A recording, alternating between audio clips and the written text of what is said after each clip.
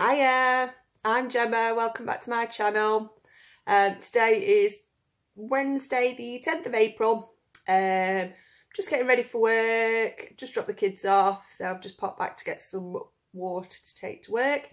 Um, and what I'm doing today is filming what I eat in a day.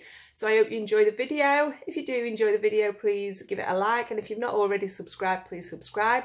There are some other videos as well um, just what I eat in a day following the Slimming World plan and some um, recipes that are Slimming World friendly. Um, so please give them a watch. Have a brilliant day. See you later. And here's breakfast. So there are 40 grams of Cheerios, which are your healthy extra B. I'm going to have a big drink of Tesco no added sugar, apple and black currant, semi-skimmed milk, which I'll be using my first Healthy Extra A. And then I've just prepped my packed lunch for work. I'm going to take some stew, chicken stew, sin free, but I will show a photo when I'm eating it.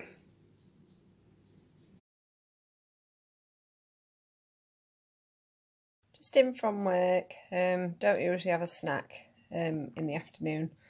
Usually save all my sins for evening. Um, I just feel a bit drained, so I want a bit of sugar. So I'm having a Viscount, which is three and a half sins, and just some sugar-free squash.